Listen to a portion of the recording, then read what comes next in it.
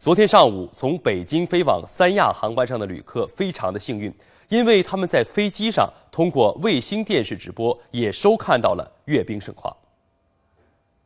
昨天，中国民航客机首次正式启动民航机载卫星电视直播接收系统，在北京飞往三亚的中国国际航空公司航班上，机上的乘客收看到了九三阅兵实况。能有这待遇，大家都兴奋不已。据了解，这一技术突破标志着中国民航客机上无法收看电视直播节目的历史结束。乘客在空中飞行期间，只需通过机上娱乐系统，使用智能手机、平板电脑等手持终端设备，就能在机舱内实时收看多套中央和省级卫视节目。昨天，有一位在城楼观礼的老兵，阅兵过程中一直在敬礼。这一场景感动了很多人，不过还有很多老兵因为身体原因不能来到现场，但他们仍然心系阅兵式。网上有一张震撼人心的照片：一百零二岁的抗战老兵汪平，眼睛看不见，但是他在听。